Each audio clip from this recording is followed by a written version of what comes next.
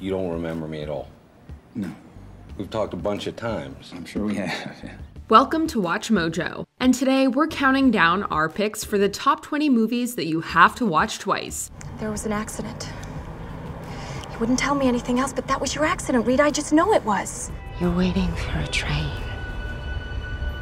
A train that will take you far away. Oh, never mind, it's all academic. Oh, is gonna make a heck of a dinner party story. For this list, we'll be looking at movies that are best appreciated on repeat viewings, be it because of heady concepts, a complex plot, or just having a lot of moving parts. A lot of these films involve elaborate twists, so take this as your spoiler warning. What movie left you scratching your head the first time you saw it? Let us know in the comments. Number 20, Joker. A film set in Gotham City with no Batman, it seemed like an odd choice on paper, but Joaquin Phoenix and director Todd Phillips turned in a truly remarkable origin story for the Clown Prince of Crime. Is it just me? Or is it getting crazier out there? A unique vision of the character, Joker is a gritty and grounded story set in a world seemingly devoid of heroes, super or otherwise. For all its realism, however, it sure knows how to make you second guess what's happening on screen. It's been a rough few weeks, Murray. Ever since I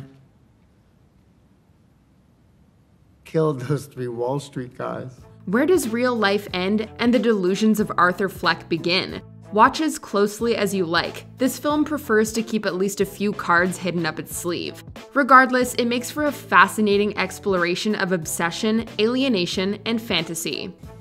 You wouldn't get it. Number 19, Cloud Atlas.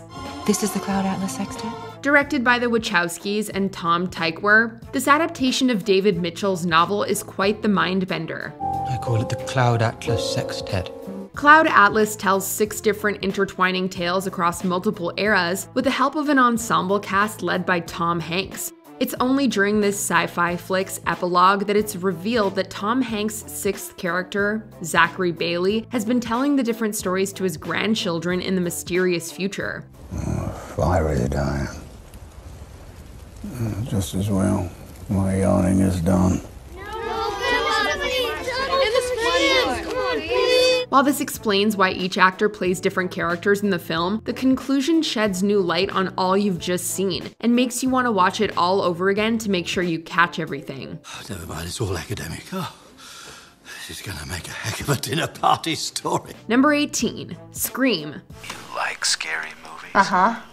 What's your favorite scary movie? Wes Craven's cult classic is not just another slasher flick. Scream centers around Neve Campbell's character Sidney, who's being pursued by the mysterious and elusive Ghostface serial killer. Do you like scary movies, Sidney? The movie deserves another go around just because of its climax, as knowing who the murderer is makes the original kills even better. Surprise, Sidney. The film is also an example of mid 90s meta humor, constantly making references to itself and its framework. How come Jamie Lee Curtis is in all of these movies? She's the scream queen. Heck, you could make a drinking game out of it. One drink for every meta joke. Actually, don't do that. You definitely won't last until the end. Never, ever, ever, under any circumstances, say, I'll be right back. Because you won't be back. I'm getting another beer. You want one?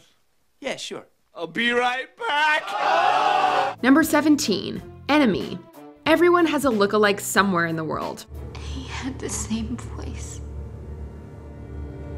He looks exactly like you. In this film, Jake Gyllenhaal's character Adam seeks his identical look-alike after he spots him in a small role in a rented flick. Said doppelganger is named Anthony Claire and is also played by Gyllenhaal. Maybe we're brothers. We're not. We're not brothers. We're not brothers. The actor masterfully portrays both men, jumping from different personalities with ease.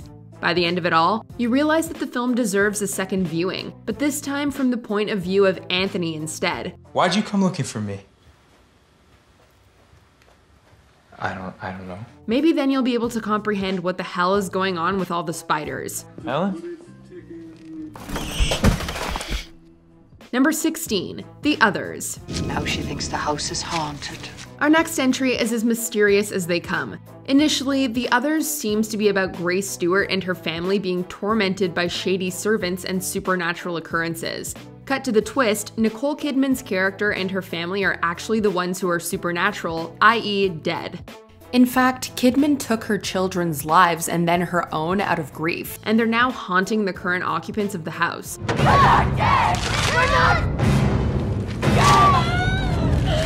Only finding this out at the end means that watching the horror thriller a second time will completely change how you see the others. Maybe you're a ghost too. Probably not though. Young Lydia said the very same thing when she realized the three of us were dead. And that was the last time she ever spoke. Number 15, Shutter Island. All I know is it's a mental hospital. For the criminally insane. During most of your first viewing, Shutter Island seems like a typical detective story. The film's original premise follows Leonardo DiCaprio and Mark Ruffalo as US Marshals, who investigate a disappearance at the mysterious Ashecliffe Hospital on Shutter Island. But it's later revealed that DiCaprio's character is actually the hospital's 67th patient, Andrew Laeddis, and the events of the film are tests from the doctors to try and cure his insanity. I told you not to come in here. I told you. This admission drastically changes how everything and everyone in the film is perceived, and definitely warrants a second watch. Which would be worse? To live as a monster? Or to die as a good man? Number 14, Us. Evil doppelgangers, mysterious underground tunnels, Tim Heidecker in a half serious role. There's a lot going on in this movie. Wait, two Tim Heideckers in the same movie? Now that's enough to make your head spin. In the follow up to his critically acclaimed horror debut, Get Out filmmaker Jordan Peele ups both the weird factor and the thematic complexity. Oh, there's a family. Child scared of a family? A boogeyman's family. Us is many things stylish, funny, and terrifying. But easy to understand is not on that list. It's not clear at this time if or how these people are connected to the attacks. What is that? They're forming what looks It's like them. Sure, the basic plot is simple enough. Evil doppelgangers rise from their subterranean world to murder and take the place of their surface dwelling counterparts. But what does it all mean? Who are these people and what's up with those tunnels? Once you find out, it's time for a rewatch. Everything had to be perfect. I didn't just need to kill you. I needed to make a statement. Number 13, 12 Monkeys. This film will have you confused, but also marveling at its brilliance. May I call you James? James. Nobody ever calls me that. In this sci fi flick from Terry Gilliam, Bruce Willis's character James Cole has to travel back in time to prevent an apocalyptic viral terrorist attack. Very few of us here are actually mentally ill. I'm not saying you're not mentally ill. For all I know, you're crazy as a loon. However, by the end of it, we learn that the future can't be changed, and Willis's trip seems to have been futile. Watch it. On the next viewing, though, it's a blast trying to remember who knows what information and what's true or just a red herring. Just don't get stuck in a time loop. Number 12, Interstellar. We must confront the reality of interstellar travel. We must reach far beyond our own lifespans. This sci fi film is Christopher Nolan's epic follow up to Inception. The film follows a group of astronauts, with the leads portrayed by Matthew McConaughey and Anne Hathaway, as they try to discover a new planet to colonize to save humanity. Our three prospects are at the edge of what might sustain human life. Why does this require a rewatch, you ask?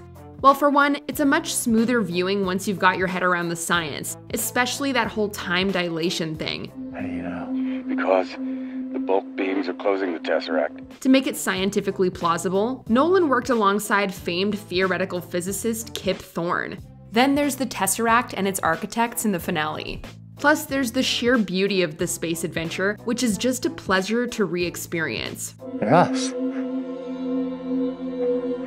What I've been doing for Murph, they're doing for me. Number 11, Jacob's Ladder.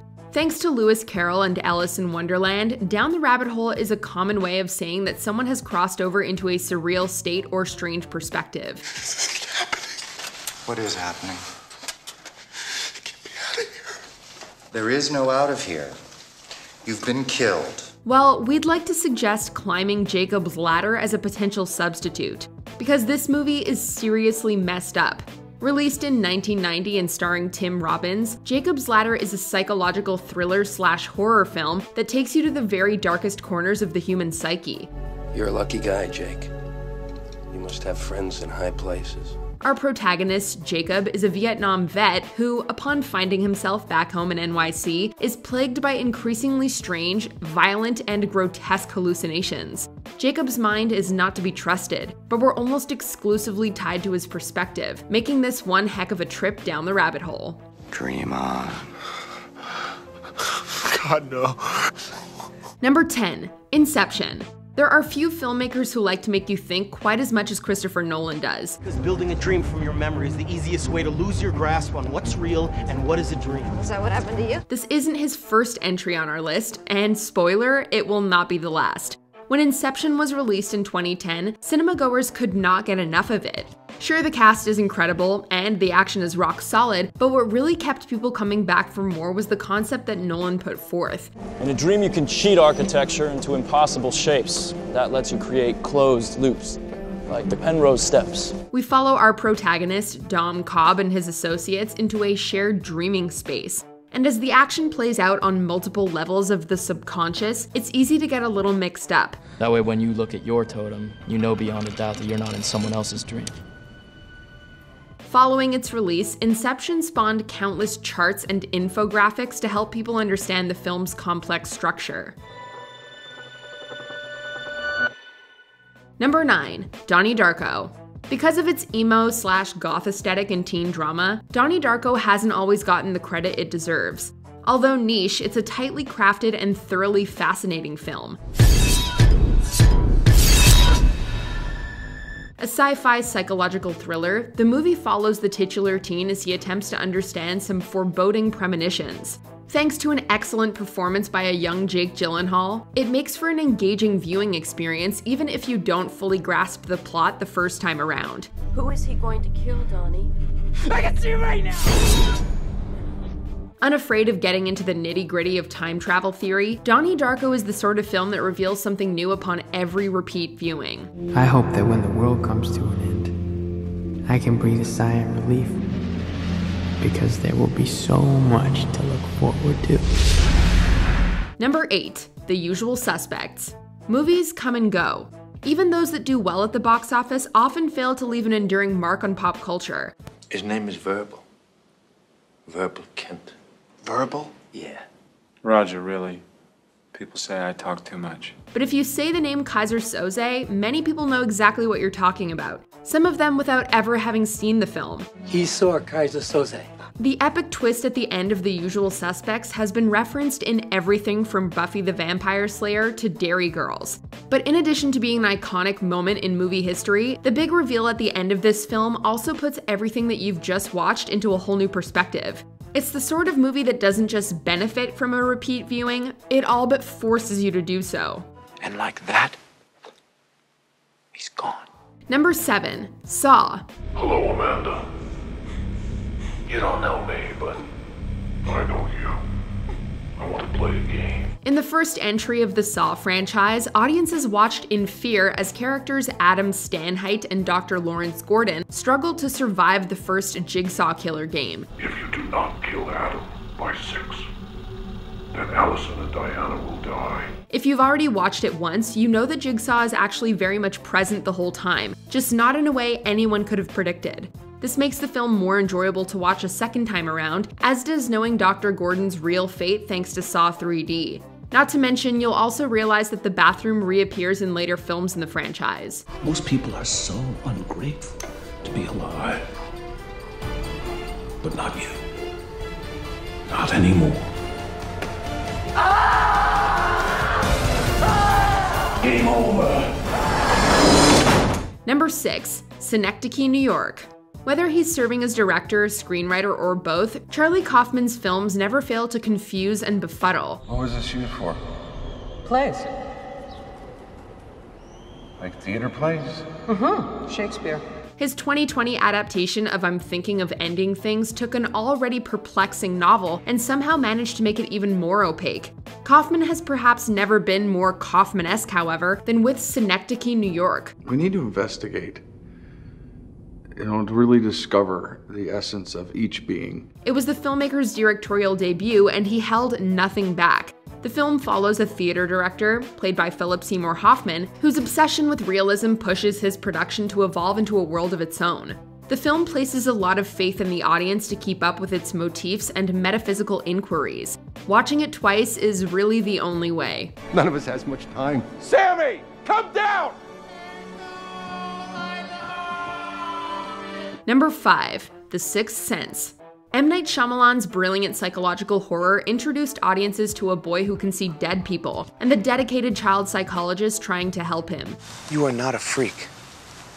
Okay? If you've been hiding under a rock for over two decades and you don't know the twist, we won't ruin it here. Do you want to tell me something? But suffice to say, there are countless hints throughout, and it takes multiple viewings to notice them. Either way, after watching the end, you won't be able to watch it the same way again. It becomes a different movie, one much spookier, but also more poignant. They don't see each other. They only see what they want to see. They don't know they're dead. Number 4. Mulholland Drive. Another director who seems to deal exclusively in head scratchers, David Lynch likes to leave plenty of room for interpretation.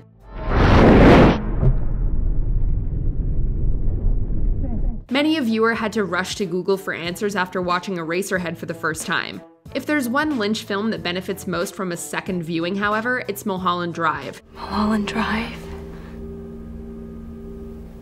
That's where I was going. The film boasts a star making performance in Naomi Watts, who plays a young actress hoping to make it big in Los Angeles. After she befriends a woman with amnesia, however, this seemingly grounded tale takes increasingly erratic and disorienting turns. Don't make it be like this. Oh, sure. You want me to make this easy for you. Lynch has famously refused to explain the film's true meaning, but repeat viewings will help you decide which of the popular interpretations makes the most sense to you.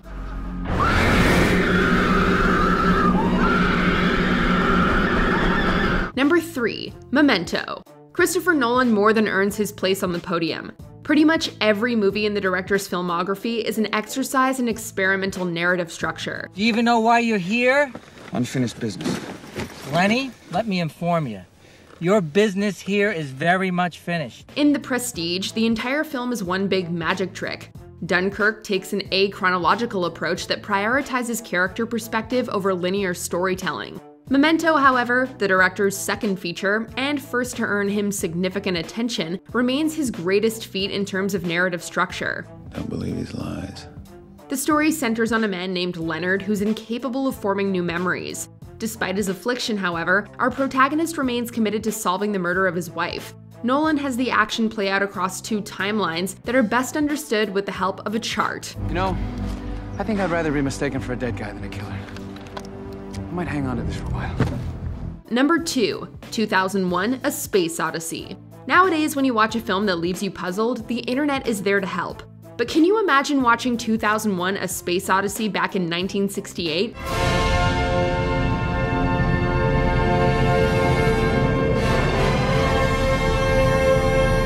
Talk about a movie going experience that will keep your brain occupied for weeks. The thing is, even today, decades later, with countless think pieces and essays written about it, this hugely influential Stanley Kubrick film continues to generate debate and discussion. Hey. My mind is going.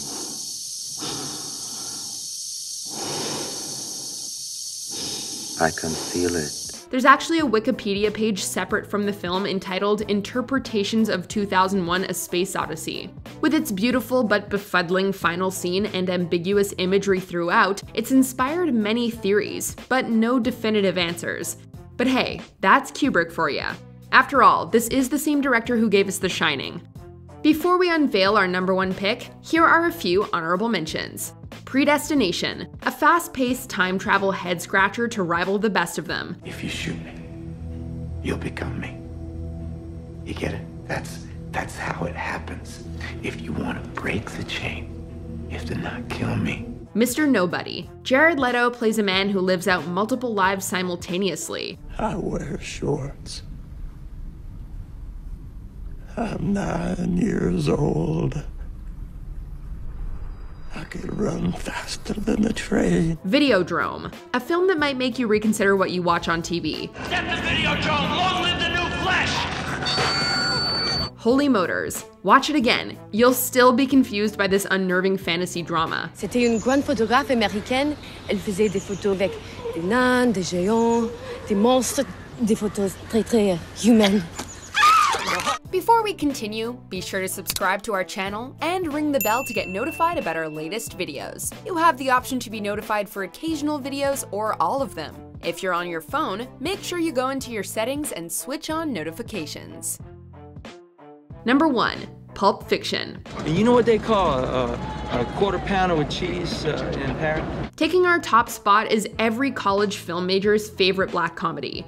Quentin Tarantino's masterpiece follows a monumental cast featuring the likes of John Travolta, Samuel L. Jackson, Uma Thurman, and Bruce Willis in a variety of intertwining stories. Whose chopper is this? Zed's. Who's Zed? Zed's dead, baby. Zed's dead. If the witty dialogue isn't enough to warrant another viewing, then just attempt to figure out the correct timeline of the film. If that still isn't enough, try to catch all of the pop culture references and bits of trivia sprinkled in. Did you know the Jules Winnfield Bible verse is a misquote? You do now. And I will strike down upon thee with great vengeance and furious anger those who attempt to poison and destroy my brothers. And you will know my name is the Lord when I lay my vengeance upon thee. Do you agree with our picks? Check out this other recent clip from Watch Mojo, and be sure to subscribe and ring the bell to be notified about our latest videos.